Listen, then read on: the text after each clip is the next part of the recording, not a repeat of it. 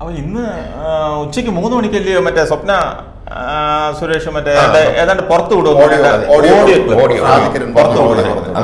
ഭയങ്കരമായ പ്രഖ്യാപനമാണ് ഇന്നലെ പ്രഖ്യാപിച്ചു തകർത്ത് തരിപ്പണമാക്കും എന്നുള്ള മട്ടിലാണ് ഓടിയായിട്ട് മൂന്ന് മണിക്ക് മഹതി ഇറങ്ങുന്നത് അങ്ങനെ കേട്ടു കണ്ടു അപ്പൊ ഉണ്ടാവോ എന്തോ ആയിരിക്കും എന്തോ ആയിരിക്കും അതിനകത്ത് അതിനകത്തൊന്നും കാണൂല അത്രേ ഉള്ളൂ ഇവരെന്ത് എന്ത് എന്ത് കാണിക്കാൻ എന്ത് കാണിക്കാൻ കാണിക്കട്ടെ എനിക്ക് തോന്നുന്നത് അവർ സത്യം പറഞ്ഞാൽ അവർ അവരുടെ ഭാഗത്ത് ഒരുപാട് കുറ്റങ്ങളുണ്ടെങ്കിൽ അവർ സ്ത്രീ എന്നുള്ള നിലയിൽ അവരുടെ ജീവിതത്തിൽ ആ ഒറ്റപ്പെട്ട ഒരു അവസ്ഥയായിരിക്കും. അവരുടെ മാനസികാവസ്ഥ നമ്മൾ ചിന്തിക്കുക എന്നുള്ളത് വളരെ പ്രധാനപ്പെട്ട ഒരു അവസ്ഥ. ഈ മാനസികാവസ്ഥ എന്തുവാ? ഇതുപോലുള്ള ഒരു ക്രിമിനൽ കുറ്റങ്ങളിൽ അതിനകത്തൊരു മാനസികാവസ്ഥയൊന്നുമില്ല. അവരെ പിടിച്ച് ജയിലിൽ ഇടുക വേണ്ടത്. ഒറ്റപ്പെട്ട ആരെ ഒറ്റപ്പെടുത്തിയത്? സ്വയം കുഴിച്ച കുഴിയിലല്ലേ എന്നിട്ട് ഒറ്റപ്പെടൽ എന്ന് പറയുന്നത് ഇത് ഇത് ഇങ്ങനെ ഇരുന്നിരുന്നിരുന്ന് മുഖ്യമന്ത്രിയെ ഭരണ സംവിധാനത്തെ എല്ലാം കുറ്റം പറയുക ഇങ്ങനെ അത് അത് അതൊരു കൊല മോശമാണ്. ഇത് ഒരു കൊലക്കേസ് പ്രതി അല്ലെങ്കിലും അവരൊരു രാജ്യദ്രോഹ കുറ്റം ചെയ്തൊരു ഒരു പ്രതിയാണ്. അവർ പിന്നെ ഒരു കള്ളക്കടത്ത് കേസിലെ പ്രതിയാണ്. അവരാണ് ഇത് പറയുന്നത്. ആ പറയുന്ന ആളുകൾ ആളിനെ കൂടെ നോക്കണം. അവരുടെ വിശ്വാസത നമുക്ക് ഒരിക്കലും നമുക്ക് അംഗീകരിക്കാൻ പറ്റില്ല. വിശ്വാസത ഇല്ല. അതാണ് നമുക്ക് നമ്മളതല്ല പറയുന്നത്. ഒരു ശതമാനം ആർക്കും വിശ്വസിക്കാനൊക്കെ ഇല്ല മുഖ്യമന്ത്രിയുടെ വീട്ടിൽ. ഞാൻ ചോദിച്ചു വേറെ ഓരോ സാധനങ്ങളും ഇല്ല മുഖ്യമന്ത്രിയുടെ വീട്ടിൽ സ്വർണം കൊണ്ടുപോകാനേ. ഈ കുട്ടുകത്തിൽ ബിരിയാണി കുട്ടുകത്തിലേ കൊണ്ടുപോകാൻ പറ്റുള്ളൂ. പണ്ട് നമ്മുടെ പിന്നെ പ്രതിപക്ഷ നേതാവ് പറഞ്ഞു പിന്നെ ഉത്തരാടം തിരുനാൾ മഹാരാജാവ് പത്മനാഭസ്വാമി ക്ഷേത്രത്തിൽ നിന്നും സ്വർണ പാൽ പായസം കൊണ്ടുപോകുന്ന പാത്രത്തിലാണ് സ്വർണം കൊണ്ടുപോയിക്കൊണ്ടിരുന്നത് എന്ന് അദ്ദേഹം ഒരു ആരോപണം ഉന്നയിച്ചു. പിന്നെ വിശദാംശങ്ങൾ അദ്ദേഹം പറഞ്ഞില്ല. ആ ആരോപണം ഇപ്പോഴും അങ്ങനെ കിടക്കുകയാണ്. എന്ത് പറഞ്ഞതുപോലെ? ബിരിയാണി ചെമ്പ്. വിദേശ വിദേശത്തൊക്കെ ബിരിയാണി ചെമ്പിനകത്ത് ചെമ്പിനകത്ത് ബിരിയാണി കൊണ്ടുവന്ന അറബികൾ എല്ലാവരും കൂടെ ആ വീട്ടിലുള്ള എല്ലാവരും കൂടി ഇരുന്ന ഒരു ഒരു പാത്രത്തിൽ നിന്ന് അവരെടുത്ത് കഴിക്കുന്നത്. അത് അവരുടെ ആഘോഷങ്ങളിൽ അത് അതെ. നമ്മൾ കേട്ടിട്ടുണ്ട്. സംശയിക്കുന്നത് ഏറെക്കാലം നിശബ്ദമായിരുന്നു സ്വപ്ന പെട്ടെന്ന് ഈ ഇറങ്ങിയതിന്റെ പിന്നിൽ ഇതിന്റെ പിന്നിൽ മറ്റാരോ ഉണ്ട്. അത് ഉറപ്പല്ലേ? സ്വപ്ന എവിടെ ജോലി. അല്ല ഇന്നലെ ആ പിന്നെ ഒരു മാധ്യമ പ്രവർത്തനം ഉണ്ടല്ലോ. എന്റെ പേര് കിരൺ ഷാജ് കിരൺ. ഷാജ് കിരൺ.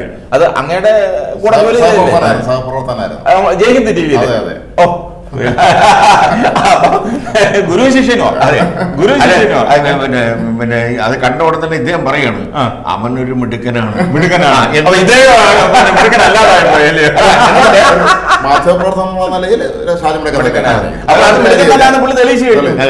അദ്ദേഹം ഇന്നലെ പറയുന്നുണ്ട് ഇന്നലെ ഒരു പറഞ്ഞൊരു വാക്കുണ്ട് എന്താണെന്നറിയാം? സ്വപ്നയായിട്ട് അറുപത് ദിവസത്തെ പരിചയമുള്ളെന്ന്. ഈ അറുപത് ദിവസത്തിനുള്ളിൽ അവരങ്ങ് ഒരുപാടങ്ങ് അടുത്തു ഇതിനെ ഇന്റർവ്യൂ ട്വന്റി ഫോർ ചാനലിൽ അല്ല, ഹാഷിം നടത്തിയ സ്വപ്ന പറഞ്ഞു അടുത്തു ഹാഷ്മി നടത്തിയ ഒരു ഒരു ഇന്റർവ്യൂൽ പിന്നെ ഈ ഷാജി പറയുന്നു പറയുന്നുണ്ട്.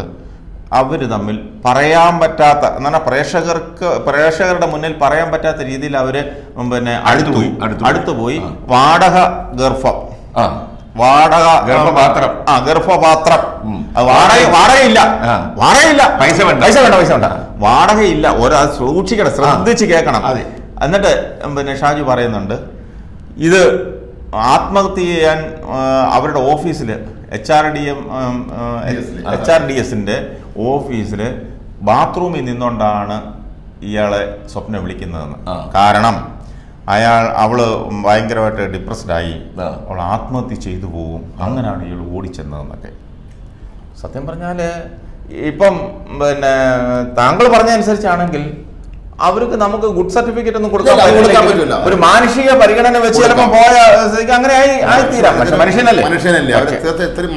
പക്ഷെ അത് എവിടെ നിന്ന് ആര് ഏത് സമയത്ത് അത് ശരിയാണ്. നമ്മുടെ പണ്ട് സ്കൂളിൽ സ്കൂളിലെ നമ്മുടെ ക്വസ്റ്റ്യൻ പേപ്പറിനകത്ത് ആരെവിടെ എന്ത് ആ. എന്ന് ചോദിക്കുന്നത് പോലെ ആ ചോദ്യമാണ് ഇവിടെ വരുന്നത് അപ്പൊ എന്തായാലും മൂന്ന് മണി വരെ നമുക്ക് കാത്തിരിക്കാം. മൂന്ന് മണിക്ക് മൂന്ന് മണിക്ക് ആ. വെടിപൊട്ടിക്കും ആറ്റം ബോംബ് ഇടുമെന്ന് പറഞ്ഞു എന്റെ ഊഹം ശരിയാണ് ഇന്ന് മുഖ്യമന്ത്രി ഇന്ന് ബാത്റൂമിൽ പോലും പോയി കാണത്തില്ല. ടോയ്ലറ്റിൽ പോലും കാണത്തില്ല. എന്താണെന്ന് ഇങ്ങനെ പേടിച്ചു പേടിച്ചില്ല പേടിച്ച് വരേണ്ട അദ്ദേഹം ക്ലിഫ് ഹൗസിന്റെ ഒരു നേരത്തെ ഇത്തരത്തിൽ വെടിപൊട്ടിക്കുമെന്ന് പറഞ്ഞ പല ആളുകളും പിന്നീട് തലകൂരില്ല. നമ്മളൊരു അനുഭവത്തിൽ പറയുകയാണെങ്കിൽ. പിന്നെ മൂന്ന് മണിക്ക് സ്വപ്ന സുരേഷ് ഒരു രംഗത്ത് വരുമോ ഇല്ല എന്നുള്ളതാണ് എന്നെ അതാണ്- അതാണ് സംബന്ധിച്ചിടത്തോളം എന്റെ പ്രസക്തമായ സംശയം. അതെ. പിന്നെ വേറെ- ഈ മീൻ പിളക്കുന്ന ഈ പെണ്ണുമ്പിള്ള സോറി പെൺമുണ്ട എന്ന് പറയാൻ. യുവതി, യുവതി, യുവതി. യുവതി. മൂന്ന് മണിക്ക് ആ സുപ്രധാന രേഖയുമായി പത്രക്കാരുടെ മുമ്പിൽ വരുമോ ഇല്ല എന്നുള്ളതാണ് എന്നെ സംബന്ധിച്ചിടത്തോളം ഒരു സംശയം. അത് സംശയമാണ്. ഇനി ഇനി മറ്റൊരു കാര്യമുണ്ട്. സ്വപ്ന സുരേഷിന്റെ വക്കീൽ ആരാണെന്ന് അറിയാമോ ആരാണോ? ബി ജെ പിയുടെ സംഘപരിവാരുകാരനായ. അപ്പൊ നമ്മളെല്ലാം സംശയിച്ചത് ഒരേ ഒരേ ഒരേ ട്രാക്കിലൂടെയാണ് ഇപ്പൊ നീങ്ങുന്നത് യാതൊരു സംശയവുമില്ല. ഇത് ഒരേ പിന്നെ ട്രാക്കിലാണ് പോകുന്നത്. അതിനകത്ത് ഇവരുടെ കൈകൾ തന്നെ ഉണ്ട് അവരുടെ തിരക്കഥ രോഗി എത്തിച്ചതും ഇച്ഛിച്ചതും വൈദ്യം കൽപ്പിച്ചതും ഒന്നെന്ന് പറഞ്ഞ അതിലെ അങ്ങനെയാണ് ഇപ്പോൾ കാര്യങ്ങൾ. ഇതിന്റെ പുറകിൽ നിന്ന് കളിക്കുന്നത് ആരാണെന്ന് ഇപ്പോൾ വളരെ. ഏതാണ്ടായി. ഇനി വക്കീൽ ഫീസ് കൂടി അവരാരെങ്കിലും കൊടുത്തു വിടുമെന്ന് പറഞ്ഞു. കാരണം വക്കീലിന് അല്ല, ഫീസ് വേണമല്ലോ ഈ ഈ വക്കീലിന് ഫീസ് വേണ്ട. വേണ്ട ആ, കേസുള്ള വക്കീലുണ്ട് കേസുള്ള വക്കീൽ. ആ, പിന്നെ സാരമില്ല. ഏതെങ്കിലും അഡ്ജസ്റ്റ് ചെയ്ത് വാങ്ങിച്ചോളൂ. കാരണം മണിക്കൂറിന് ലക്ഷക്കണക്കിന് വാങ്ങുന്ന വക്കീലന്മാർ നമുക്കുണ്ട് പക്ഷെ ഇന്നലെ ആ വക്കീലിനെ ഓടിച്ച് കോടതി. മുൻകൂർ ജാമ്യത്തിന് വന്നത് അതെ, അതെ. കടന്നോളാൻ പറഞ്ഞേ. കണ്ടം വഴി ഓടുകയും ചെയ്തു. അല്ല അത്രയ്ക്ക് നല്ല എഫിഷ്യന്റ് വക്കീലായിരിക്കണം. അതാണ് കോടതിക്കും ബഹുമാനം തോന്നി ഓടിക്കുമെന്ന് പറഞ്ഞത്. ഇവിടെ നിൽക്കരുതെന്ന് പറഞ്ഞത് അതുകൊണ്ടായിരിക്കും ആ, അനാവശ്യമായ ഒരു അപേക്ഷയായിട്ടാണ് ചെന്നതെന്നാണ് കോടതി പറഞ്ഞത്. കാരണം പ്രോസിക്യൂട്ടർ പറഞ്ഞ് ഞങ്ങളിങ്ങനെ ആലോചിച്ചിട്ടില്ല അത് മാത്രമല്ല ഈ വകുപ്പിന് ഒരു ഒരു ഞങ്ങൾ അറസ്റ്റ് ചെയ്യാനും തീരുമാനിച്ചിട്ടില്ല. ഇല്ലാത്ത കേസിൽ എങ്ങനെ അറസ്റ്റ് ചെയ്യണത്? അതിനെങ്ങനെ മുൻകൂർ ജാമ്യം മുൻകൂർ ജാമ്യം? അതാണ് കോടതി ചോദിച്ചത്. മൂന്ന് മണി വരെ നമുക്ക് വെയിറ്റ് ചെയ്യാം. ആ മൂന്ന് മണി. മൂന്ന് മണി വെയിറ്റ് ചെയ്യാം അങ്ങനെയൊക്കെ അങ്ങേക്ക് വല്ല ക്ലൂ വല്ലതും. അല്ല, ശിഷ്യം വല്ല ക്ലൂ? അല്ല ചിലപ്പോ കിട്ടാൻ സാധ്യത കാരണം അറിയാം ആത്മ സുഹൃത്താണ്. അപ്പൊ- പറയണം ശിഷ്യ എനിക്ക് എന്തിനാണ് ആദ്യം തരാൻ വേണം നമുക്ക് ആദ്യം അടിക്കണം. ഗുരുവിന് ഒരു ഒരു ഒരു കുളുതാണ് എന്ന് പറയുക തീർച്ചയായിട്ടും അയാൾ നിരസിക്കില്ല. കാരണം അയാളൊരു പത്രപ്രവർത്തകനല്ലേ? പ്രത്യേകിച്ചും രാജ്മോഹന്റെ ശിഷ്യനും കൂടെ ആകുമ്പോഴത്തേക്ക് തരാതിരിക്കില്ല. ചോദിച്ചു നോക്ക് ഒരു ചായ തണുത്തു പോകും ഒരു ശരി അപ്പോ അപ്പൊ അങ്ങനെ ആയിട്ട് നമുക്ക് മൂന്ന് കാത്തിരിക്കാം.